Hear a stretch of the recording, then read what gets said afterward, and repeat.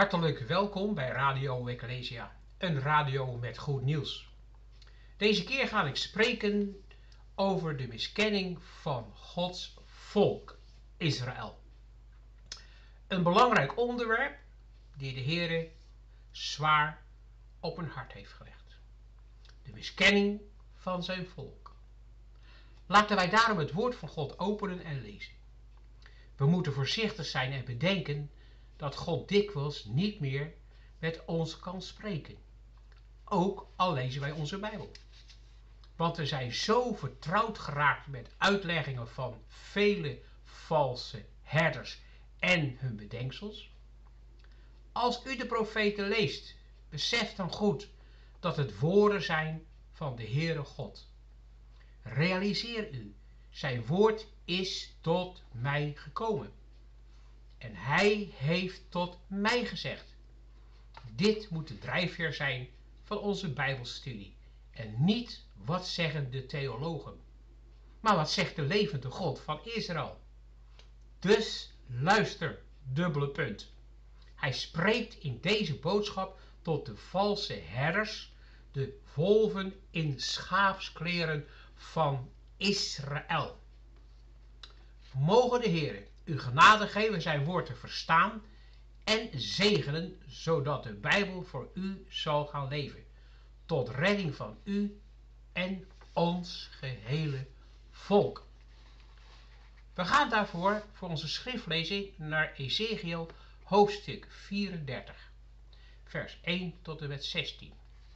Opnieuw zal ik u zeggen, luisteraars, zet de geluidstraler even stil en pak uw Bijbel en lees mee in uw eigen Bijbel. Want nu komen hele belangrijke woorden voor u en mij in deze tijd. Het woord des Heren kwam tot mij, mensenkind, Ademiet, schepping van God. Profeteer tegen de herders van Israël. Profeteer en zeg tot hen, tot die herders, zo zegt de Heer, wee de herders van Israël die zichzelf wijden. Moeten de herders niet de schapen weiden? Het vet eet gij, met de wol kleedt gij u, het gemeste slacht gij, maar de schapen wijdt gij niet. Zwakke versterkt gij niet, zieke geneest gij niet, gewonde verbindt gij niet, afgedwaalde haalt gij niet terug, het verlorene zoekt gij niet, maar gij heerst over hen met hardheid en geweldenarij. Zij raken verstrooid, omdat er geen herder is, en worden tot voedsel voor al het gedierte des velds. Zo raken zij verstrooid. Mijn schapen dwalen rond op alle bergen en op elke hoge heuvel. Over de gehele aarde zijn mijn schapen verstrooid, zonder dat er iemand is die naar hem vraagt of zoekt. Daarom, gij herders, hoort het woord des Heren.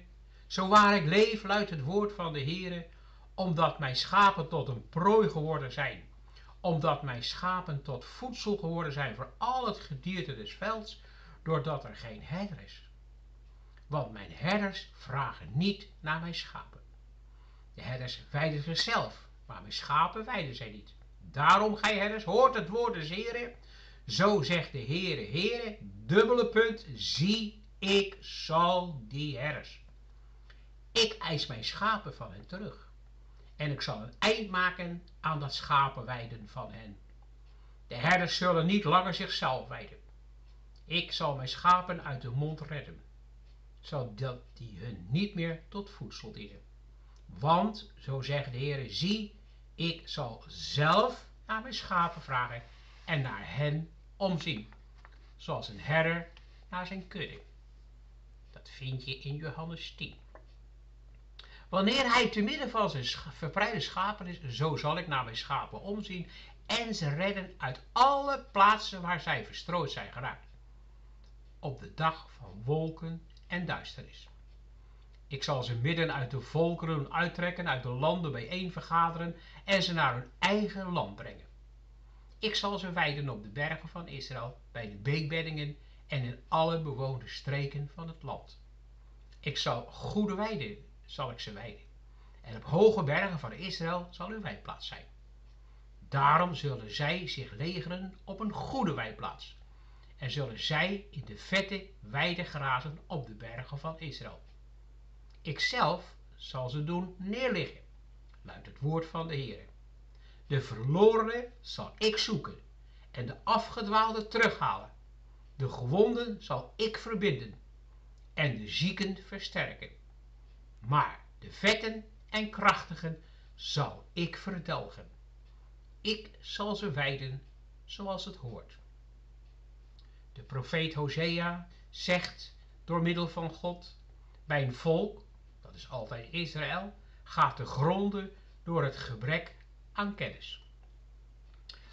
Als wij in de Bijbel, waar de Heer Jezus zegt, zo zal ik naar mijn schapen omzien en ze redden uit alle plaatsen op de dag van wolken en duisternis, dan zijn er helaas veel mensen, al hebben zij vele jaar de Bijbel gelezen en bestudeerd, die niet weten wat de dag van wolken en duisternis betekent. Als u het wil weten, neem dan een goede concordantie en zoek het woord wolken op en het zal u verbazen wat er allemaal over geschreven staat in de profetieën. Het is namelijk de grote en doorluchtige dag des Heren, welke nu voor de deur staat. En waarom staat deze doorluchtige dag voor de deur? Omdat God tussen beiden moet komen. Gods schapen zijn door hun herders verlaten en ze weten niet meer wie ze werkelijk zijn. Zij zijn zonder identiteit. Ja, ze hebben wel namen van kerken en groepen, maar ze weten niet dat zij Gods echte schapen zijn. Er wordt van de bokken, dat zijn dus niet Israëlvolkeren, schapen gemaakt. En Israëlvolkeren worden heidenen genoemd. En heidenen weer Israël. In mijn geest en in mijn hart kan ik de groeiende, groeiende toren van God voelen. Er vinden grote gebeurtenissen plaats voor onze ogen en wij zijn ziende blind. Ons volk is zo gehersenspoeld door alles wat er om hen heen gebeurt dat zij niet meer opkijken van oorlogen elders in de wereld en dichterbij hier in Europa. Door wetteloosheid is de misdaad ontstaan.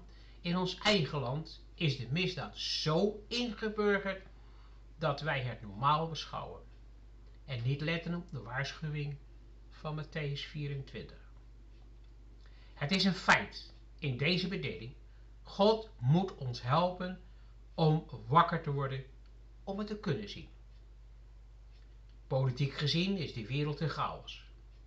Wie een beetje belang stelt in de internationale politiek, ziet dat alles uitdraait op een zogenaamde eenwording onder leiding van sociale, humanistische liberalisme.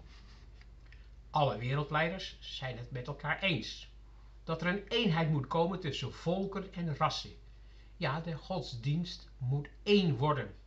Dus één ras, één politiek, één godsdienst. Ons volk moet haar eigen identiteit, haar cultuur, haar christelijke godsdienst prijsgeven. Getuigt artikel 1 van de grondwet. Er is geen onderscheid meer tussen rassen en godsdiensten. We zijn geworden een multiculturele samenleving. Dit alles is het werk van de Illuminati die werken achter de schermen van elke regering. De geldmachten manipuleren de volkeren. En onze regeringsleiders, schuine streep kerkelijke herders, werken eraan mee. Waar werken zij aan mee? Aan onze ondergang als Nederlands volk. Vandaar Gods ernstige waarschuwing aan onze herders. Ik zal u een voorbeeld geven van de werkelijkheid op financieel gebied. Wij worden afgeschilderd als een rijk land. Let op, onze nationale schuld is zo hoog dat wij nu als volk per jaar 33 miljard euro moeten betalen alleen al aan rente. Zijn wij nog zo rijk met zo'n grote schuldenlast? Dit en nog veel meer gebeurt er in ons land. Maar men doet net of zij of haar neus bloedt. En gaat door alsof er niets aan de hand is. Wanneer we kijken op godsdienstig gebied, zijn we in een toestand van absolute verwarring.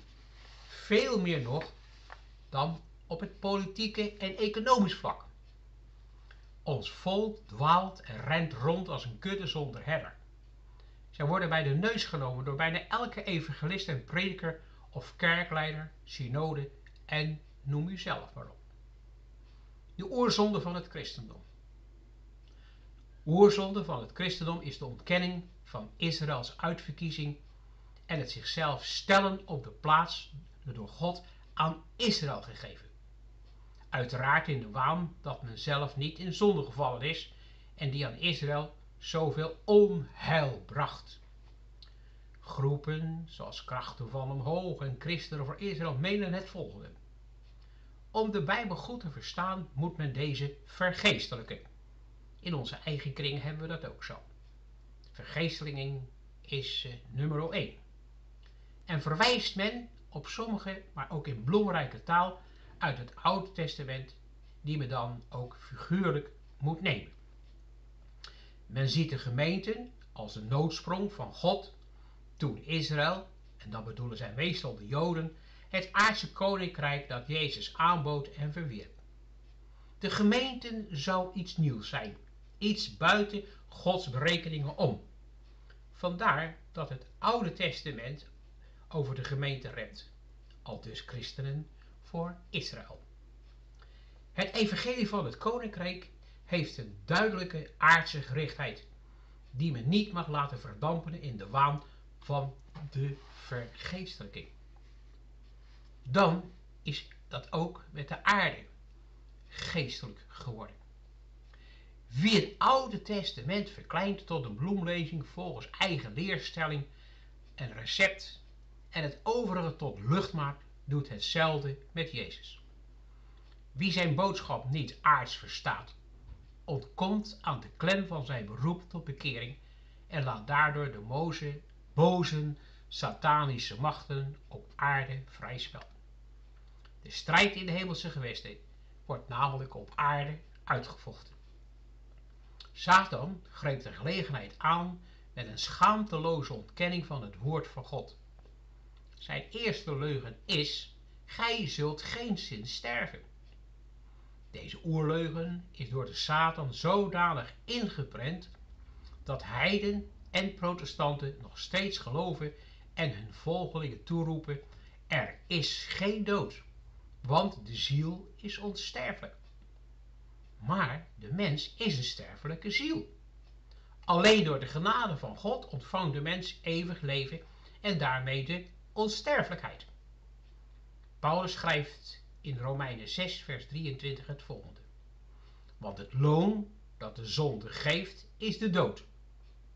Maar de genade die God schenkt, is het eeuwig leven in Christus Jezus, onze Heer.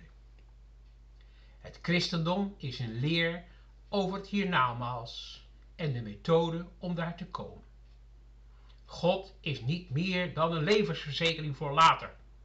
En ons geloof en opvatting in plaats van de houding van vertrouwen op God, die alles wat hij gesproken heeft zal waarmaken. Op de markt van de kerk moeten we niet Jezus Godheid trachten te verkopen, maar juist zijn mens zijn. Dit is ongelooflijk belangrijk.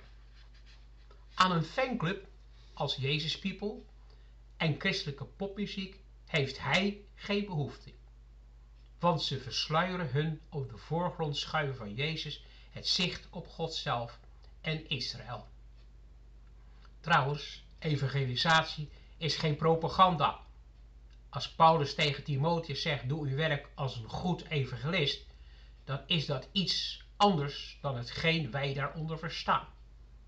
Het is geen betaalde baan of onbezoldigde vrije tijdsbesteding als reclame voor de christelijke geloofsartikelen.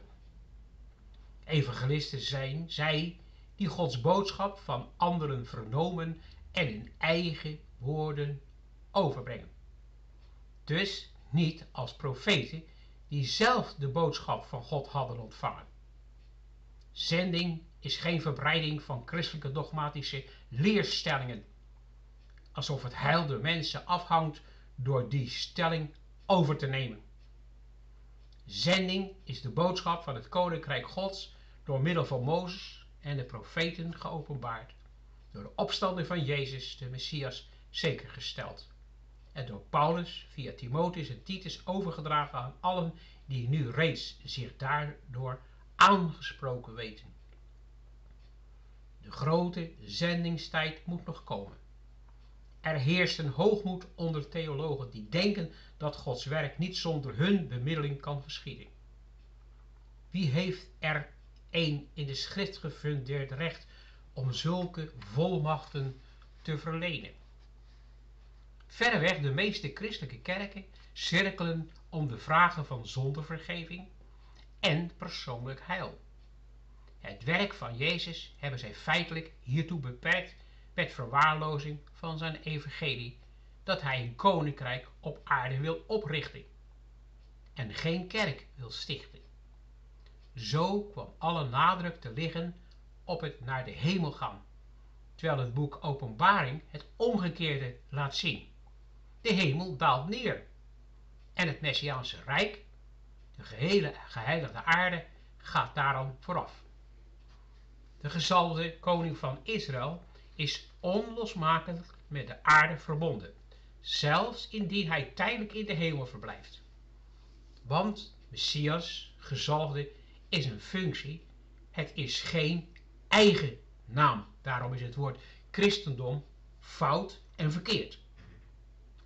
Ons kerkvolk wordt om de tuin geleid door mooie muziek, gitaarspel of wat dan ook. Het vlees wordt gestreeld. Ons volk wordt figuurlijk gesproken met honing om uw mond misleid. Maar zij weten werkelijk niet in welke tijd ze zijn aangekomen. Waarlijk, Gods schapen worden geslacht. Hoe? Door abortus, vrije seks, aids, uitspattingen met drugs enzovoort. Zij worden verscheurd en hun vlees wordt gegeten. Hun wol wordt gebruikt, want Gods schapen en hun geld worden gebruikt met tien en duizenden euro's. Ja, miljoenen verdwijnen de zakken van organisaties als Wereldraad van Kerken, de VN en noem andere organisaties maar op. Ook die op christelijke leest is geschoeid. Als je navraag doet en vraagt wat het heeft opgeleverd voor het koninkrijk van God, krijgt u het antwoord: ik weet het niet. Het volk weet het niet, in welke tijd het leeft. De dag van wolken en duisternis. De grote en doorluchtige dag van God. Dat is namelijk de wederkomst van de gezalfde koning van Israël. Nee, ons volk weet dit niet. En weet u het, wat zo verschrikkelijk is? Ze willen, ze willen het ook niet weten. Ze willen het ook niet horen. Nee, ons volk wil het niet horen. Zij willen brood en spelen. Zoete stemmen in de samenkomsten. Zij willen vermaakt worden door hun herders. Denk maar naar de dansende, valse Pinkstergemeenten onder ons. Denk aan de dreiging van de verschrikkelijke hongersnood in de wereld en een pestziekte en de goddeloosheid en niet te vergeten de opstand van de heidenen. Dus de niet-Israël volkeren. Tegen wie? Tegen ons Westelingen. Wij worden overspoeld door andere volkeren en hun godsdiensten. Dit alles staat haarfijn opgeschreven in de boeken van de profeten. Gods volk weet er niets van af. Het wordt hen niet geleerd. Dit is de waarheid. Als wij naar de grote profetieën kijken, is er niets op aarde dat een grotere kracht heeft dan een profetie waarvan de tijd van vervulling is aangebroken. Het zal gebeuren, want zo spreekt de Heere Heer. Zijn woord zal nooit afwijken van wat hij heeft gezegd. Bij de geweldige vervulling van de profetieën is Gods volk Israël ten nauwste betrokken, eraan vastgekoppeld. Lees al de profeten en u zult zien dat het gaat bij de vervulling om Gods volk Israël. Maar Gods schapen horen hier niets over. Het wordt hen gewoon niet verteld, integendeel, het wordt van hen weggehouden. Er wordt tegen hen gezegd, dubbele punt, dit Israël, waarover de profeten schrijven, is nu de kerk geworden, bestaande uit alle volken en rassen van de aarde. Wanneer die valse herders staan tegenover zo'n bonte menigte uit alle volkeren, dan zeggen zij volk van God. Een term die de Bijbel toepast op maar één volk, namelijk Israël. En niemand anders kan deze naam dragen. Dit is de tragedie en de ernst van deze tijd. Dat is de waarheid. Israël en de profetieën zijn één. Maar het raakt ons volk niet. Wat zij leren in deze showkerken is bedrog. God spreekt van valse herders. Het is noodzakelijk om dit te zeggen. De misleiding is te groot. Ons volk moet wakker gemaakt worden. Vandaar Gods felheid tegen de valse herders. Maar de vraag is, verdragen wij de waarheid? Er wordt gezegd dat de kerk het geestelijk Israël is. Of, als men een beetje verder wil gaan, wijst men op de Joden als volk van God. Of zegt dat beide entiteiten ertoe behoren. Maar als de Joden nu de volle twaalf stammen van Israël zijn, met andere woorden, het volledige volk van God, dat het te vinden is in het Jodendom, dan gaat men voorbij aan Ezekiel 37. En dan kan het hoofdstuk uit de Bijbel gescheurd worden. Als je vandaag luistert naar de meeste predikers, dan kun je het gehele Oude Testament wel uit de Bijbel scheuren. Ja, men kan al de profeten uit de Bijbel scheuren, want ze richten zich alleen tot Israël. Nu wordt er geleerd dat de kerk of de Joden geheel Israël zijn. Zo wordt Gods volk gruwelijk misleid. Toch worden zulke sprekers toegejuicht. Predikers passen de prachtige teksten van Israël toe op de kerk en op de heidenvolkeren. Ik zal u een voorbeeld geven. Jesaja 43 vers 1 wordt toegepast op een kerk die bestaat uit alle rassen. Dubbele punt. Maar nu, zo zegt de Heere, uw schepper, o Jacob, uw formeerder, o Israël, vrees niet, want ik heb u verlost, ik heb u bij uw naam geroepen, gij zijt mijn. Maar tegen wie spreekt de Heer? Is de kerk Jacob geworden? Mensen drinken deze misleiding als de waarheid. Dit is de tijd waarin wij leven. Men vergeet dat God spreekt met Israël en geen ander volk. Maar dit mag niet gezegd worden. Alles is immers voorgeprogrammeerd. Alles staat immers vast. Het is de kerk aan wie men de profetieën toeschrijft. Oh ja, er wordt ook nog iets aan de Joden overgelaten. Meestal het kwade. Deze dingen mogen vandaag de dag niet gezegd worden. De atmosfeer is zo voorbereid dat je niet meer de waarheid kunt zeggen zonder je nek uit te steken. Want dan word je vervolgd. Kijk maar naar Wilders. Gods volk is bang voor de waarheid. En daarom te worden vervolgd is uitgesloten. Want we leven in een namaakheerschappij. In een namaakoplossing. In een namaakgeestelijkheid. Occulte godsdiensten hebben nu de aandacht. Maar voor de waarheid durft men geen verantwoordelijkheid te dragen. Laat het maar aan een ander over. Maar wat zult u zeggen als u op een dag voor God zult staan? Wat zal dan uw antwoord zijn? Wat zullen de profeten zeggen, zij die gestorven zijn voor de waarheid? Hetzelfde geldt ook voor de apostelen. Men gaat door om Israël te vergeestelijken en te vertellen dat de kerk Israëls plaats heeft ingenomen. Ik noem nog een paar teksten die zij op hun geestelijk Israël loslaten. Maar Sion zegt, de Heere heeft mij verlaten. En de Heer heeft mij verlaten, kan ook een vrouw haar zuigeling vergeten, dat zij zich niet ontfermen zou over het kind van haar schoot? Al zouden zij die vergeten, toch vergeet ik u niet. Zie, ik heb u in mijn handpalmen gegrift. Uw muren zijn bestendig voor mij, zegt Jezaja in hoofdstuk 49, vers 14 tot 16. Hoe kan Sion nu de kerk zijn? Of de gemeenten uit de heidenen? Maar als je het goed ontleedt, merk je op dat God spreekt met een volk, het volk Israël. God spreekt niet met de kerk. We kijken naar Ezekiel 34, vers 30 en 31.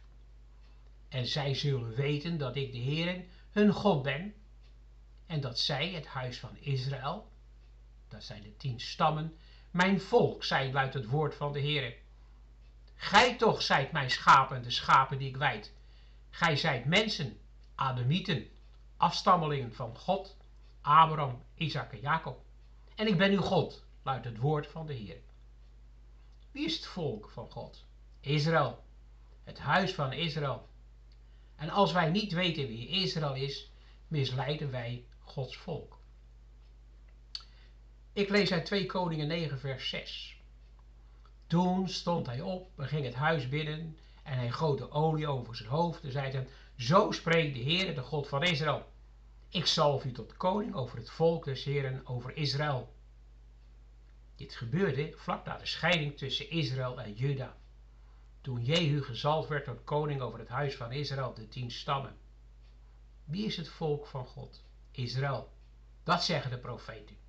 Dit volk van God, het huis Israëls, welke God geschapen zijn, tot hen spreekt hij in Israël en in opdracht van God. Ezekiel 34. Waarvan God zegt, over de gehele aarde zijn mijn schapen verstrooid, zonder dat er iemand is die naar hen vraagt of zoekt. Waar zijn nu die predikers die vragen, waar is nu het volk van God? Wie is Israël? Niemand vraagt naar hen. Niemand vraagt aan ons, waar komen wij als Nederlanders vandaan? Men is erop uit om ons als Nederlands volk uit te roeien. Hoe? Door abortus, integratie, gemeente huwelijken. 17% van ons volk is al gemengd, waardoor onze kinderen hun identiteit verliezen. Dit wordt nog erger, want onze herders vragen er ook niet naar. Ook onze regeringsleiders, schuine streep kerkelijke herders. Maar het interesseert er niet wie het ware Israël is. Maar wij hadden al lang kennis moeten hebben van Israëls geschiedenis. Bijvoorbeeld de scheuring naar Salomo's koninkrijk in twee koninkrijken opgeleverd. Waarvan de tien stam het koninkrijk Israël in ballingschap ging naar Assyrië tot op de huidige dag. En het huis van Juda 125 jaar later naar Babel. In ballingschap voor 70 jaar. Dit zijn geschiedkundige feiten. Wij als Ecclesia, Evangeliekorps en Radio Ecclesia beschikken over zeer uitgebreide documentatie over Israël, de tien stammen. Hoe zij ontsnappen en naar het noordwesten van Europa migreerden. Waar zij zijn geworden de volkeren van de reformatie. Maar helaas, niemand vraagt daarna. Is het niet eigenaardig dat het één en dezelfde soort volkeren zijn die dit heeft gedaan? Maar niemand legt het verband tussen hen en Israël. Deze volkeren zijn de enigen die het christendom hebben aangenomen tot op de huidige dag. Ja, nu in verre staat van zonden en verval, dat wel. Maar we staan nog steeds bekend als de christelijke naties van Noordwest-Europa. De Latijnse volkeren hebben de reformatie niet aangenomen. Zij zijn rooms geworden en gebleven. Ons volk behoort tot de tien verloren stammen van Israël. Wij beschikken over een overvloedige bewijslast. Deze reformatievolkeren zijn begonnen met koloniën te stichten, zoals de profeten hadden voorzegd. Uit hen zal een menigte van volkeren ontstaan. Dan rest de vraag, wie heeft de Bijbel en de beschaving over de wereld gebracht? Juist, de reformatievolkeren van Noordwest-Europa. Ik weet dat als je spreekt over koloniën, dit je niet in dankbaarheid wordt afgenomen. Maar ook dit is de waarheid. God heeft zijn volk verspreid over gans de aarde om tot een zegen te zijn voor zijn schepping. Wat was hun kleur? Blank. Waar komen zij vandaan? Ze kwamen uit het hart van Europa. Wij kunnen bewijzen dat dit de mensen zijn uit de Assyrische ballingschap, namelijk het volk van God. Maar denk eens aan de eindtijd waar de profeten over gesproken hebben. Dat is nu. Daarin speelt Israël weer een belangrijke rol. Zij en de profeten zijn onlosmakelijk aan elkaar gekoppeld. Ik moet weer terugkomen. In sommige van onze kerken en uit de mond van zoete prekers, uit de mond van valse herders die eten van het malse vlees van de vette schapen, komt de misleiding. U weet, als een mens in zijn hart wordt getroffen door een mooie, zoete prediking, gaat zijn portemonnee open. Dat is waar. Zijn geldbuidel zal opengaan. Lekker vet vlees van wollige schapen. Ja, zij spreken over de wederkomst van de Heer en vertellen ook nog dat het dichtbij is. Maar ze spreken nooit dat de wederkomst des Heeren zal samenvallen met de verschrikkelijke dag van wolken en duisternis. Nee, dit hoor je niet. Dat de komst ten nauwste gekoppeld is aan het herstel van Israël, nee, dat hoor je niet. Alles is nu toch geestelijk, zeggen de kerken. Nu een tekst die met kerstmis veel gebruikt wordt, om tienduizenden harten of kaarten mee te versieren. Maar waar men de ware betekenis niet van begrijpt. Maar een kind is ons geboren, een zoon is ons gegeven, en de heerschappij rust op zijn schouders. En benoemt hem wonderbare raadsman, sterke God, eeuwige vader, vredevorst. Groot zal de heerschappij zijn en eindeloos de vrede op de troon van David. En over zijn koninkrijk doordat het sticht en grondvest met recht en gerechtigheid van u aan tot in eeuwigheid. De ijver van de Heere der Heerscharen zal dit doen zegt de profeet Jesaja in hoofdstuk 9, vers 5 en 6. Hij, Jezus, komt om op de troon van David te zitten. Dit was een aardse troon. Wat betekent de troon van David als er geen volk is? Welk volk? De kerk? Nee, zeker niet. Maar het letterlijke volk Israël. Davids volk was geen kerk.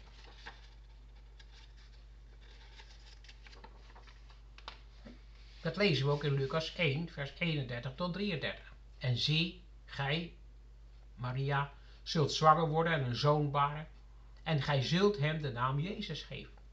Deze zal groot zijn en de zoon des Allerhoogste genoemd worden, en de Heere God zal hem de troon van zijn vader David geven.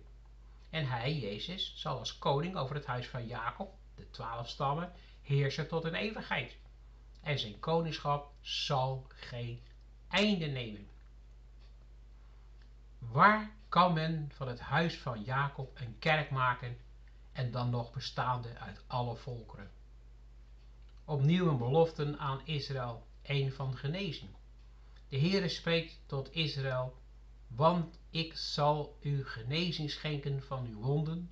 Genezen luidt het woord des Heeren, omdat men u Sion de verstotene noemt, diegene naar wie niemand vraagt, zo zegt de Heer, zie ik breng een keer in het lot van de tenten van Jacob, de twaalf stammen. En over zijn woning zal ik mij ontfermen. De stad zal op haar puinheuvel herbouwd worden. En de burcht op zijn rechte plaats tronen.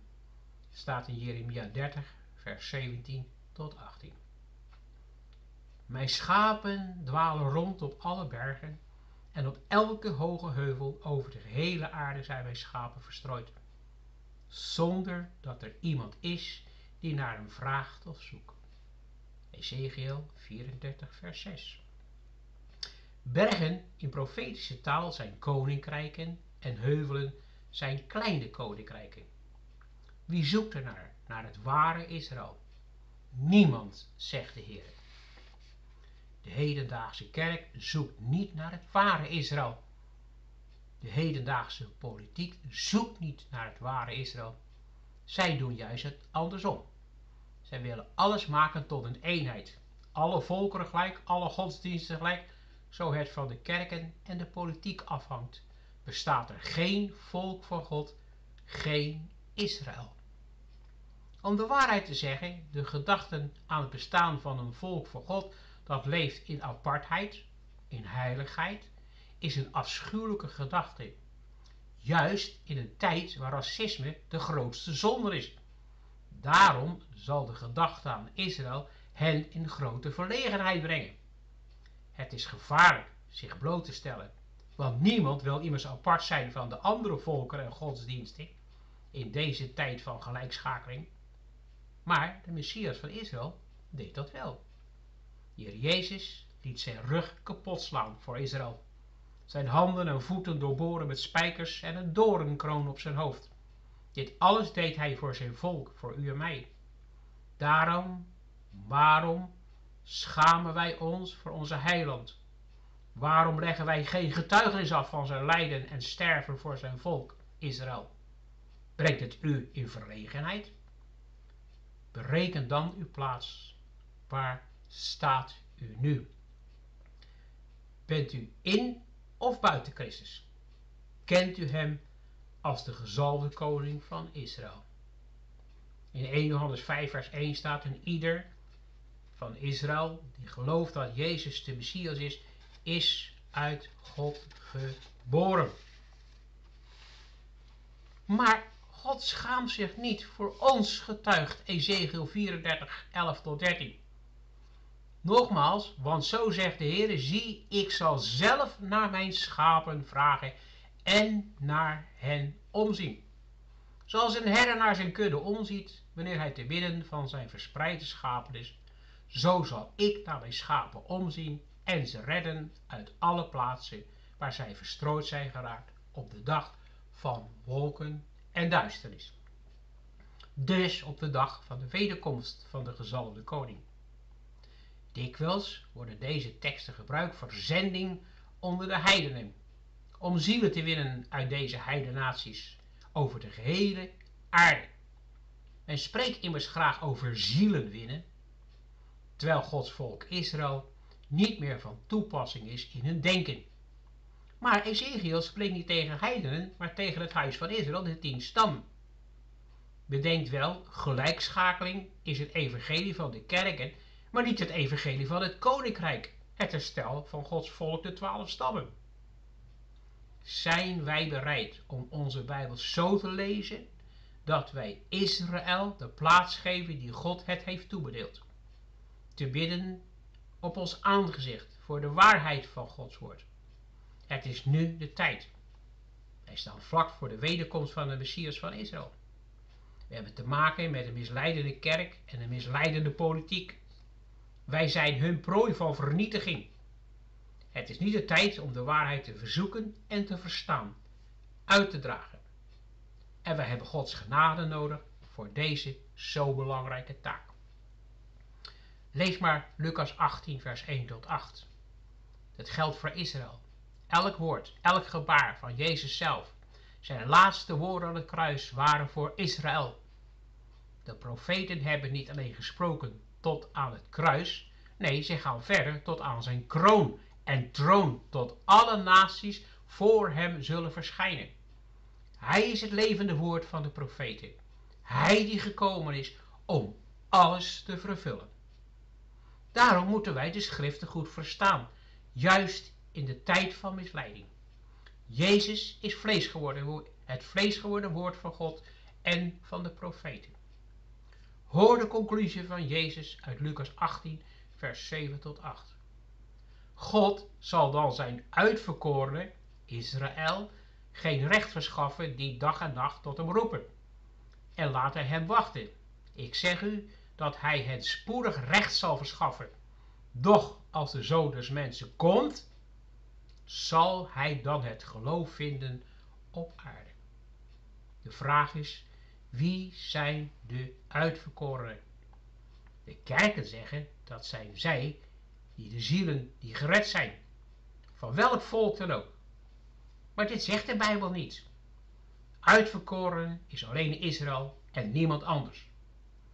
Als u het er niet mee eens bent, wendt u zich dan tot God tot de God van Israël en doe daar uw beklag. Wij zijn als Nederlands volk een gedeelte van het moderne Israël. Maar wij verkeren in een zeer slechte positie. Wij, West-Europeanen, kunnen vandaag niet meer goed iets goed doen. Niemand verschaft ons het recht waar wij volgens Gods beloften recht op hebben. Terwijl de heidenen, moslims en alle zwarte en hottentotten in de wereld zich alles kunnen veroorloven wat verkeerd is. Er worden sloten geld en goederen aan besteed. Kijk om u heen en word wakker. Zijn uitverkorenen roepen dag en nacht naar hun God. Maar soms is het roepen tot een koperen hemel. Potdicht! Wij die de Israëlwaarheid zoveel jaren kennen, roepen dag aan dag tot God voor ons eigen volk. Zal God ons verhoren? Prijs God, prijs Jezus. Ja, hij zal het doen. Wij moeten alleen de waarheid kennen en deze verkondigen. En desnoods voor lijden of sterven. Bent u daartoe bereid? Wij worden nu bedreigd door de wolven, door vreemde godsdiensten, overheersing door vreemden en vergeet de valse theologieën niet. Van ieder is dan mijn naaste. Onderken de valsheid der herders en leidslieden. Uw toekomst hangt ervan af. Zal hij, Jezus, bij zijn wederkomst het geloof nog vinden? Wat is uw beslissing? Blijft u neutraal of zet u zich nu in voor de waarheid van Gods woord? Kijk eens naar ons parlement. Er zitten al moslims en hindoes in, terwijl Israël zich apart van de andere volken moest houden. Zo zullen vreemden over ons heersen. Nogmaals, aan u de keus. Wie zult u dienen? Waar wilt u van getuigen? Als Gods licht der wereld of de duisternis? Jezus heeft gezegd, zoekt eerst het koninkrijk van God. In Matthäus 6, vers 33. Dat is een opdracht van Jezus. U moet uw kracht en inzetting geven aan zijn koninkrijk.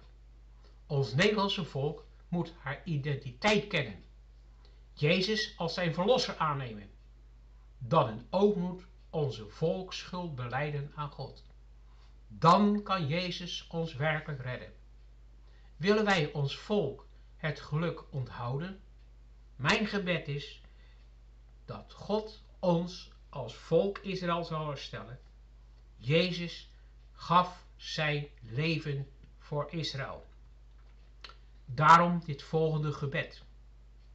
Dierbare Heer Jezus, wij danken u voor mannen en vrouwen die door de eeuwen heen hun leven hebben gegeven, zodat wij nu het geschreven woord in onze handen kunnen nemen en dit lezen, zodat het tot onze harten kan spreken. Daarom is mijn gebed nu, Heere onze God, spreek met ons uit uw woord, in het bijzonder uit uw profeten. Liefdevolle Heer, geef genade in deze tijd van bezwijming, waar duivelse bedwellingen over ons volk wordt uitgestort. Heere onze God, dat wij door de mist kunnen zien en dat wij opnieuw zullen lezen in uw woord en het woord zullen verstaan en dat wij dan kunnen onderscheiden wat er rond ons als volk gebeurt. Dit vraag ik u in Jezus' naam. Amen.